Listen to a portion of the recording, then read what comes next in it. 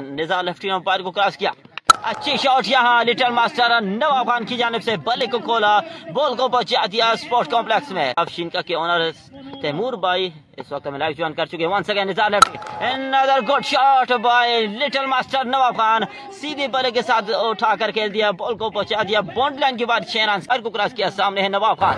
اچھی شاٹ لیکن پیچھے fielder oh my goodness oh my goodness Shah Saud دوڑے اچھی شاٹ یہاں لٹل ماسٹر نواب خان کی جانب سے چھ رنز کے لیے باؤنڈ لائن کے باہر۔ شاہ سعود بمراہ، ہلکے قدموں سے دوڑے، امپائر کو کراس کیا۔ لیکن اٹھا کر کھیل دیا یہاں سیدھے بالے کے ساتھ لٹل ماسٹر نواب خان نے باؤنڈ لائن کے باہر چھ رنز کے لیے۔ وہ اندھیرے کی وجہ سے کینسل کرنا پڑا تھا۔ Excellent shot by Nawab Khan. لٹ نواب خان۔ اچھی شاٹ اٹھا کر کھیل دیا۔ Another maximum by Nawab Khan little master کی۔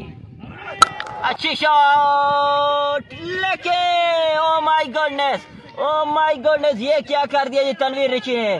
ایک آسان سا کیچ تھا ڈراپ کیا اور ساتھ ہی ملیں گے چھ رنز۔ دوسرا دج کا